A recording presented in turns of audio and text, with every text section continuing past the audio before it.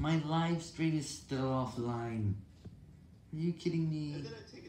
I want to know why my live stream is still offline, and if it was live for real, I would be really excited. Here's what I did with my live stream. I first, and I noticed the stream settings were removed, and then I tried to disable the chat, and I noticed this, and then I turned it back and I didn't do anything after that.